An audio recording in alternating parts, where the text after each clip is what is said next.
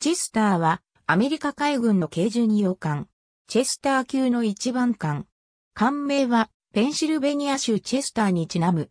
チェスターはメイン州バスのバス鉄工所で寄港し、1907年6月26日に DW スプロールによって浸水、1908年4月25日に HB ウィルソン艦長の指揮下収益した。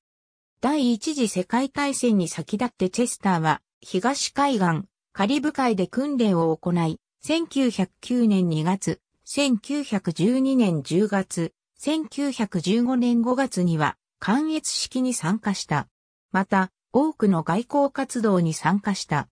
1909年には、会員委員会の北アフリカ訪問に使用され、翌年には、アルゼンチンのブエノスアイレス創立300周年記念式典参加のため南アメリカへの巡航を行った。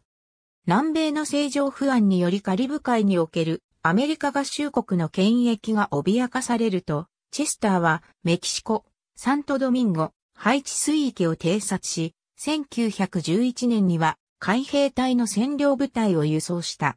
同年末にはトリエステでステーション船の任務に就く紹介ヨットのスコーピオンに兵員と物資を輸送し、その後中トリポリ領事を乗せ、ボストンに帰還した。1911年12月15日から1913年11月5日まで予備役として保管された後、チェスターは現役任務に復帰し、メキシコ革命に際してアメリカ国民と財産を保護するためメキシコ湾に向かう。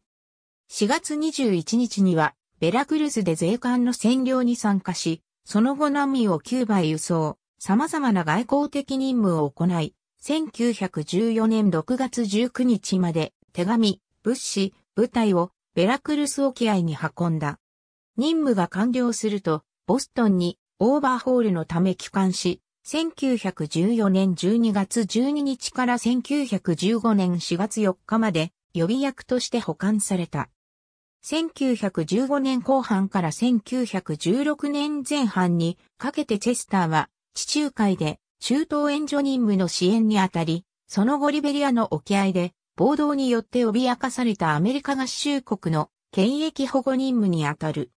任務完了後チェスターはボストンに帰還し、1916年5月10日から1917年3月24日まで再び予備役として保管された。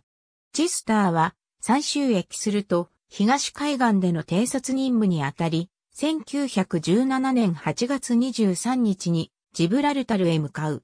チェスターはジブラルタルとプリマス間の船団を護衛した。1918年9月5日にチェスターは右舷前方に U ボートを発見した。U ボートへの体当たりを試みたチェスターはその上を通過し、防雷具を破損した。潜水艦がいたと思われる地点へ爆雷が投下されたが、それ以上の接触は行われなかった。第一次世界大戦が終了すると、チェスターはいくつかのドイツの港を訪問し、続いてロシア北部で活動する陸軍部隊を輸送した。1919年4月26日にフランスのブレストを出港し、チェスターは陸軍機関兵を乗せ5月7日にニューヨークに到着した。11日後にオーバーホールのためボストン海軍交渉入りし、1921年6月10日に退役する。1927年にフィラデルフィア海軍交渉へ牽引され、1928年7月10日に艦名はヨークと変更された。ヨークは1930年5月13日にスクラップとして売却された。ありがとうございます。